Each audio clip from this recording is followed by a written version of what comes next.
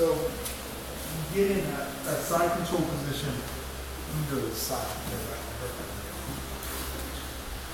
You get in a side control position, and sometimes what happens is they're able to get the, the arm in between me and them. So they bring the arm in, and, and they bring it down here like this, and they're blocking my hip with it.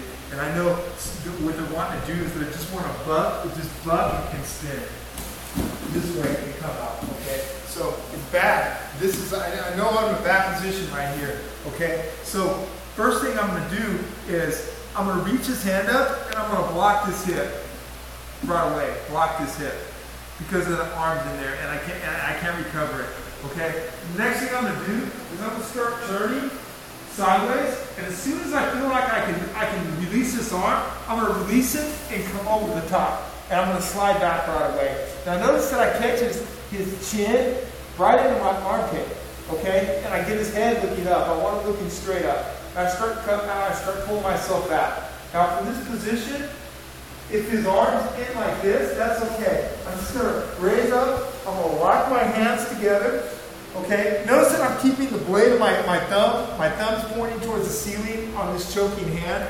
I just come up and I lock. And then I'm just gonna sit back and squeeze. And get the tap. Okay?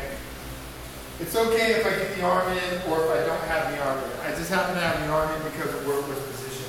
So again, he's got the arm in between me and him. I'm still putting shoulder pressure. I know eh, he's going to, he's going to buck eventually. So what I want to do is I'm going to bring this arm in. I'm going to block this hip. So it's going to make it hard for him. Okay? Then as soon as I feel like I can I'm going to start turning this way. As I do, I'm going to split my arm over, catch it, armpit, and I'm going to push myself back just like this. Okay? If this arm's here, I'm just going to trap it, lift up, grab my hands, and just sink back and squeeze. Okay?